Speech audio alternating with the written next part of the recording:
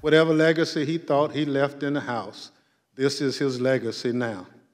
His former colleagues singing him out for criminal prosecution because he wouldn't answer questions about what he knows about a brutal attack on our democracy. That's his legacy. But he's hasn't left us any choice. Mr. Meadows put himself in this situation, and he must now accept the consequences.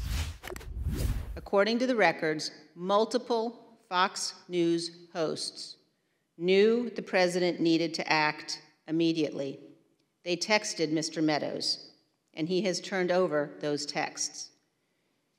Quote, Mark, the president needs to tell people in the Capitol to go home. This is hurting all of us. He is destroying his legacy, Laura Ingraham wrote. Please get him on TV.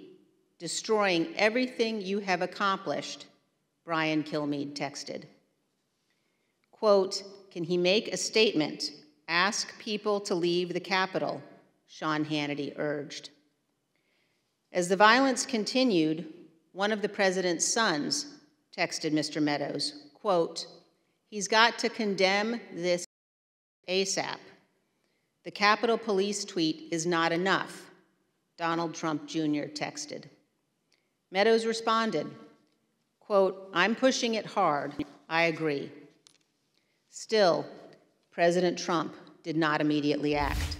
Mr. Chairman, I move that the committee favorably report to the House the committee's report on a resolution recommending that the House of Representatives find Mark Randall Meadows in contempt of Congress for refusal to comply with a subpoena duly issued by the Select Committee to investigate the January 6th attack on the United States Capitol.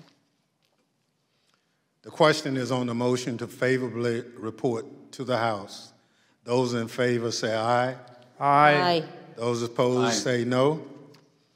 In opinion of the chairs, the ayes have it. Mr. Chairman, on this vote, there are nine ayes and zero noes.